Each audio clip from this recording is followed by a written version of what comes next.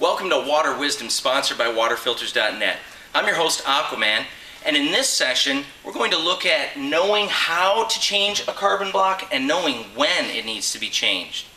What we see back here is a complete filtration system. This is the way your filter system should be installed when you do it in your house. We've got all the appropriate components. We have shut-off valves before and after the system, and we also have pressure gauges before and after each of the filter housings. You can see over here on the sediment filter and here on the carbon block, pre and post pressure gauges. Every filter cartridge has an anticipated and normal pressure drop when it's brand new. This cartridge that we're putting in the system today is an EP20BB. It's got an expected pressure drop of about 5.5 psi at a flow rate of 5 gallons per minute. When that pressure drop increases, that's an indication that the cartridge is clogging with particulate matter or that the, the media is becoming exhausted and water can't pass through as easily, so the pressure drop increases. In this system, just a few minutes ago, we ran the faucet over here at 4 gallons a minute, and we saw a pressure drop difference between the pre and the post gauge of about 6 to 8 psi. That's far above what we would expect for the cartridge that's in here, and so we're going to change it. So here's the process. We've shut off the water valves before and after, and we've released the pressure from the system by opening up the tap that we have over here. You would do this at your kitchen tap or your bathroom tap. Somewhere in the house you've got to release the water. Then, each of these housings that we sell has a red pressure release valve on the top. Got my handy dandy bucket, which you're going to need, and I'll be glad I have in a minute. And I'm going to release the pressure for a few seconds. Get a little dribble of water, looks like we're good to go. Now, I'm going to use my spanner wrench. This is an SW4. It goes with these 20 BB housings and I'm going to remove this sump. Righty-tighty, lefty-loosey, just like every screw you've ever used in your life. Slide the filter wrench up on, and there it is. It's loose enough now that I don't need the wrench anymore. And I'm going to loosen the filter housing. This is the sump that I'm removing from the cap. And in a few turns, it's going to fall out into my hands and get me wet. Don't wear your good clothes when doing this project. Here it comes. A little more water, and there it is. Dump the water into my bucket. And there we go. There is our filter sump. And here is our used and well used carbon block that we're replacing. Set this over here in the sink for it to drain. Now, there's a couple of other things we want to do before we put the new filter in. It's not a bad idea to start by inspecting inside and checking to make sure that, to, just to see if any debris has been left behind. In our case, ah, look what I found. An old O-ring that fell off of the old cartridge. Don't want that in there or the new filter won't fit properly. So that get that out there. Otherwise, we look like we're good. Now, next, got to check the O-ring. Take the time to do this right. You'll regret it if you don't. If you put it back together and your O-ring's damaged, you're going to spring a leak, and that's no fun for anybody. So check it for flat stop spots, abrasions, dings, nicks. Looks pretty good. Now I'm going to re-lubricate the O-ring with food-grade silicone grease. Available at waterfilters.net. Don't use any other lubricant. That's a bad story. Only food-grade silicone grease. I'm going to take a towel here and I'm going to clean out the groove that the O-ring seats into.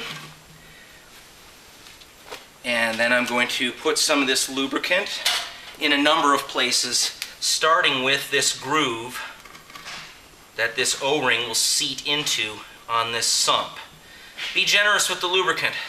You'll be glad that you did. It's going to make everything go together easier and it's going to protect the longevity and effectiveness of your O-ring. Now, again, I'm going to get some all over this O-ring. It's kind of a greasy job. All right, nicely lubed. Now I'm going to seat the O-ring into the groove.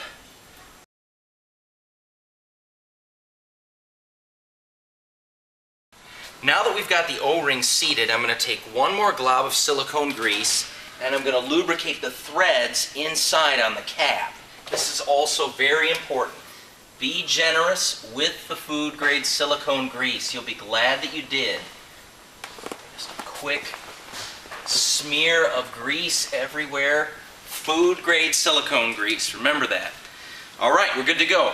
Right here we have our EP20BB 5 micron carbon block available at waterfilters.net and I'm going to slide this down into the housing and just make sure that you press it in and wiggle it a little so that it seats down. There's a small, uh, a small post at the bottom of the sump. Just want to make sure it's sitting down on there properly. And now we're going to reattach the sump to the cap.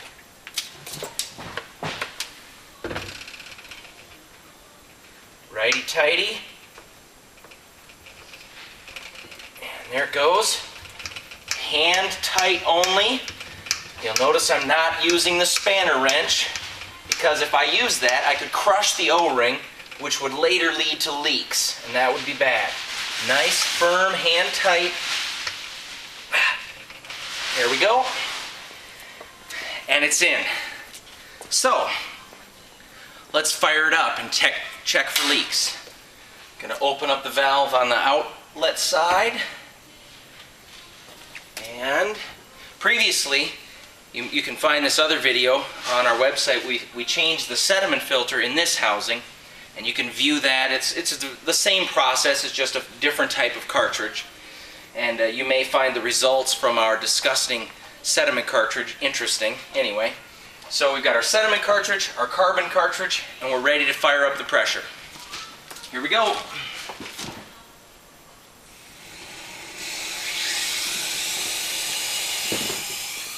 Nice and easy. I don't want to slam it with all that pressure.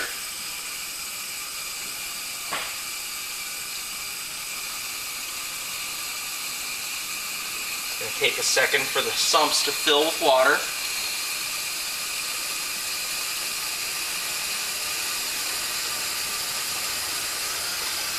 So far so good.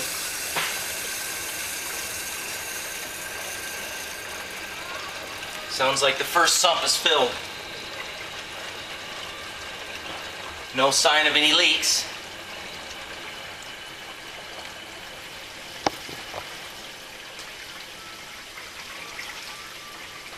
Sounds like the second sump is almost full.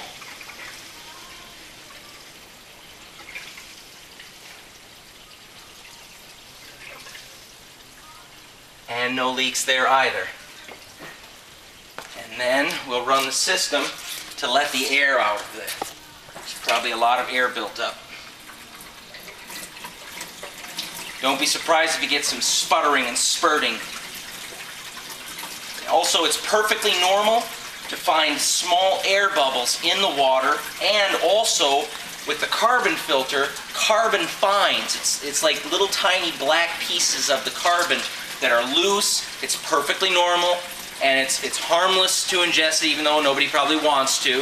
It's harmless and that'll rinse out after you flush the system. And it's a good idea just to crank the water on. Just walk away for 10 minutes. Let it purge out those carbon fines and purge out any air bubbles. And then you're good to go. My name's Aquaman, and this is Water Wisdom, sponsored by waterfilters.net. Thanks.